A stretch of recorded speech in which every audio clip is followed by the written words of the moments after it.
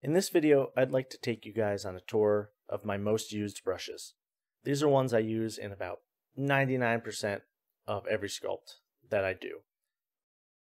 They find their way, mix and match through pretty much every part of my sculpt, every piece of my sculpt.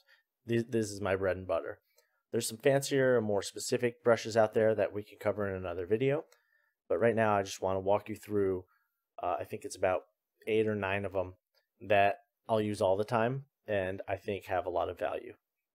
So let's get started. So the first one is Move Topological. Not regular Move. Move is very useful too, but I find myself using Move Topological even more. And I'll show you why. So you can find it here. Has a little, you can see the topology on the icon. I'll click that, and I actually have some hidden meshes here. So Move Topological what makes it so special is that it's going to apply the movement to the topology of the mesh that you have the cursor on, and not the fall off of the entire like red circle here, just where my point is landing. So to demonstrate this, I'll click and drag, and you can see it's only moving the topology of this this green uh, polygroup here. And if I move my cursor over to the next one, now it's only moving that one. This is super useful in a lot of cases, uh, specifically for when you're doing hair or fingers or any geometry that's near each other. Now, if I use regular move, you'll see it's moving both of them, even if I'm well inside the, the green topology here or the orange, it's moving all of it. So that has its use too, of course. But I find more often than not, I'm using move topological. So I'm going to get rid of those again. Now, on top of that, uh, standard. Honestly, I use standard all the time.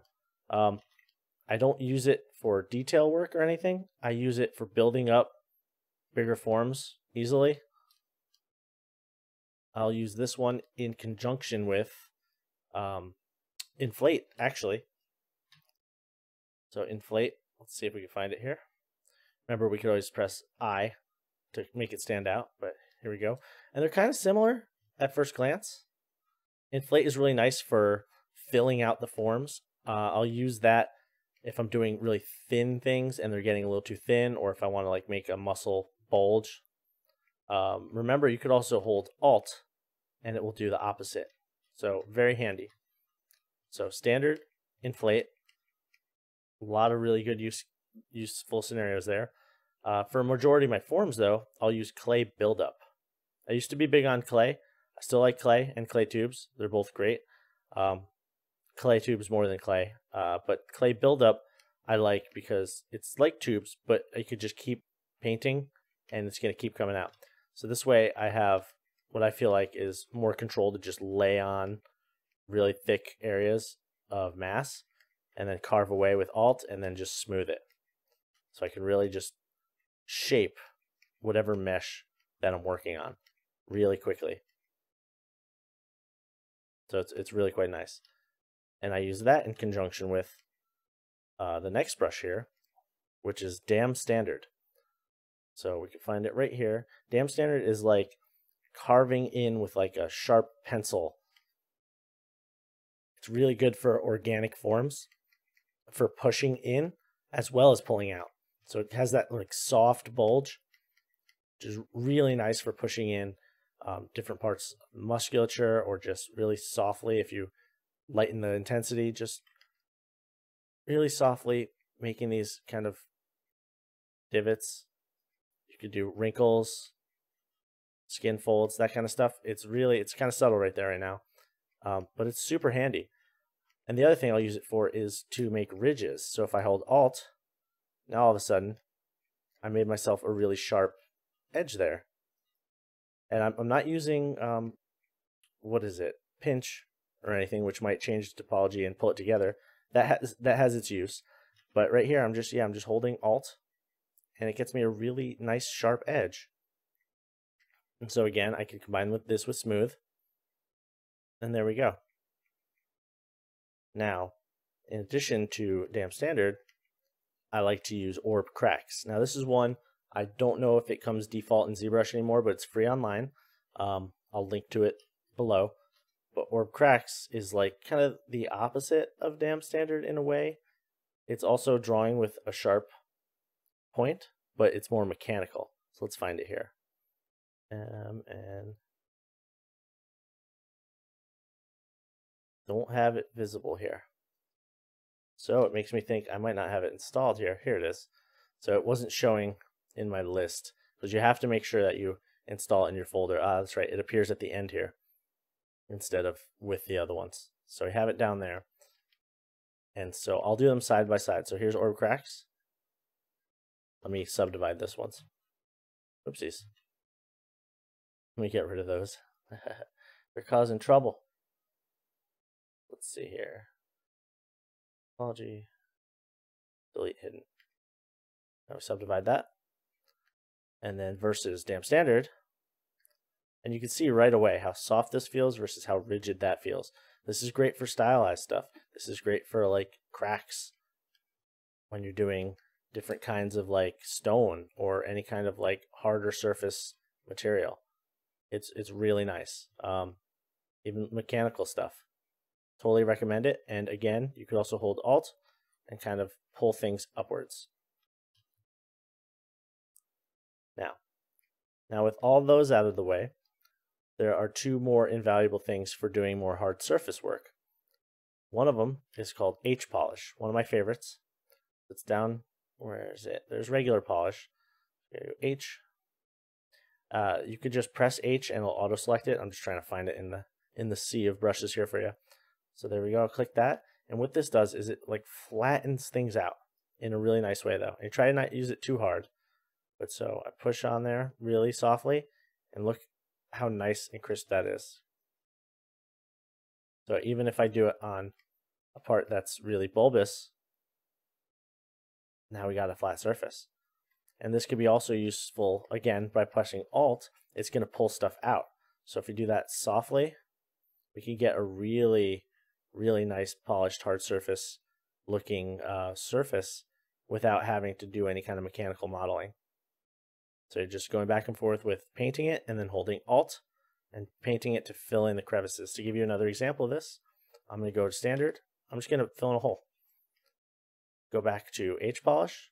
So normally H polish would flatten it. So you could, you got a lot of use out of that too. But if you hold Alt, it fills it in really nicely. So this could be really handy for if you have, hmm, let me see if I can do an example. Like right here where it kind of has that gap.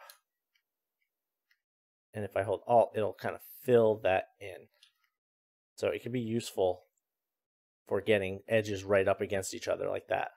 So now see how tight that edge is? And I'm just holding Alt and you have that nice crisp edge. Whereas if I zoom back, it was like that before. So that's super handy. Now the other part is Trim Dynamic. The other brush I like to use for hard surface stuff is Trim Dynamic. It's kind of like H Polish. Let's see if we find it.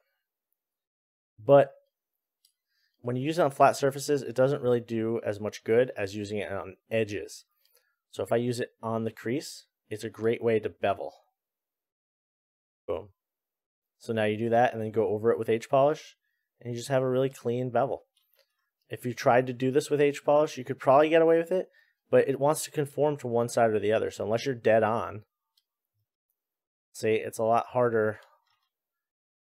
If you press harder, you kind of get it, but then it like flows to one side or the other. But if you use, again, trim dynamic, it just saws it right off. So I like to use all these things together.